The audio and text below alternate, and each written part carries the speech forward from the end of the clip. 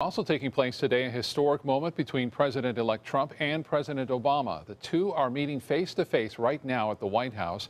Trump leaving New York's LaGuardia Airport this morning on board his private jet. The two have been meeting in the Oval Office for the last hour. First Lady Michelle Obama will be meeting with Melania Trump in the residence area of the White House. According to the White House spokesman, today's meeting will not be an easy one for the president, but adds President Obama is genuinely rooting for Trump to succeed as president.